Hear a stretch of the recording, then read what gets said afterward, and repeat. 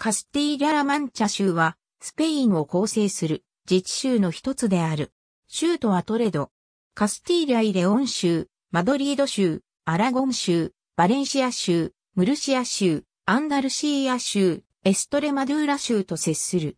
19世紀に県制度が導入されて以降、アルバセーテ県を除く4県とマドリード県は、新カスティーリャ地方を構成していた。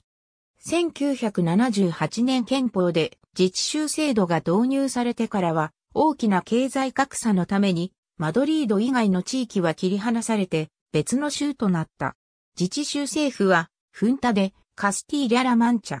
ラ・マンチャとはマドリードの南に広がる平原で風が強く標高の高い地域である。マンチャの名はアラビア語の乾いた土地に由来する。ミゲル・デ・セルバンテスのドンキホーテの舞台となっている。ひまわり、風車語やマンチェゴチーズでも有名である。カスティーリャラマンチャ州は5つの県によって構成されている。県と県との名前はすべて同じである。カスティーリャラマンチャ州の首都はトレドに置かれている。人口が上位の自治体は次の通り。トレドとクエンカは、こと、トレド、歴史的城塞都市、クエンカとして世界遺産に登録されている。